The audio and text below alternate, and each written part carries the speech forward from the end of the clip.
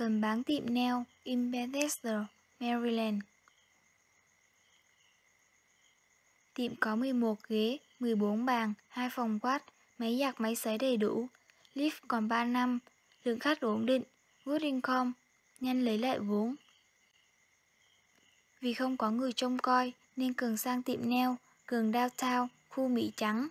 Khách sang, lịch sự, dễ thương. Mọi chi tiết xin liên lạc 301 500 9906 hoặc 301 300 7575. Không kịp nghe full, xin để lại tin nhắn. Thank you.